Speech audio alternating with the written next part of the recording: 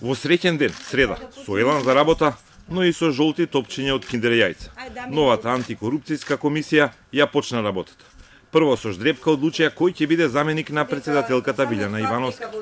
Добитното топче го извлече Нури Бајрами, баджанакот на спикерот Ала Джафери. На вистина треба да се почитува овој прв пат и шоуто да завршува со мене. И благодарам, треба да се вратиме и да работиме. Доста од ова шоу, во два наврати, Нури Барјами така ја опиша целата ситуација со медиумскиот интерес за неговиот избор и сватовството со собранискиот спикер.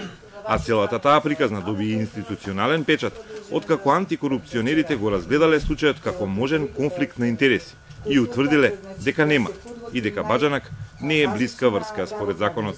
Роднините по сватовство до втор степен, а тоа се родителите на брачниот другар на избраното, односно именуваното лице, како роднини по сватовство од втор степен. И брат и сестра на брачниот другар на избраното, односно именуваното лице, како роднини по сватовство од втор степен. Државната комисија констатира дека во конкретниот случај не настанува состојба на судир на интереси. Бајрам, иако само заменик, сепак беше главна кадровска тема за медиумите. Тој на крај со подолг мотивацијски говор, како одговор на новинарско прашање појасни дека на вистина комисијата за селекција немала доволно време да ги истражи сите кандидати и да ги открие сите детали за новите членови на антикорупцијска. И некој се ја бара дали требаше јас да се да се изјаснам по тоа на начин да дигам рака јас сум баџанакот.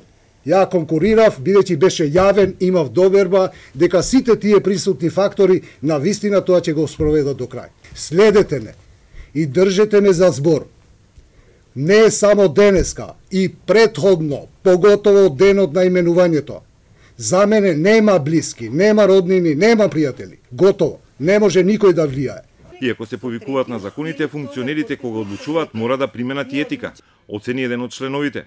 Многу подобри начини се регулира со етичките кодекси. Што се ви правила кои што се виделат неко право кои што меѓутоа во одредени ситуации може да предизвика сериозна дискусија во јавноста како што произлезе и од овој последен случај. Откако кадровски се екипира антикорупционерите се пожалија на тесниот простор за успешна битка со функционерските аномалии, како и со немање на прецизни законски решенија кои ќе ги ограничат политичките кривини со корупцијата.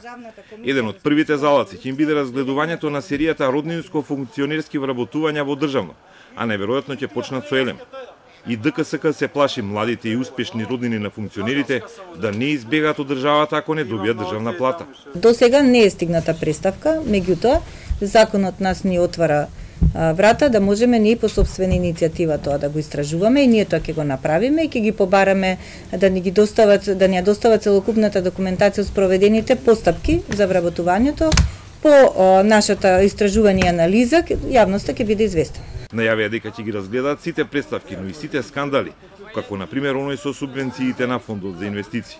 Осекуваат успех во работата и сега пред изборите порача државните институции да не ги прашуваат дали нешто е дозволено или не во предизборен период, туку нивните правници да си го прочитаат законот.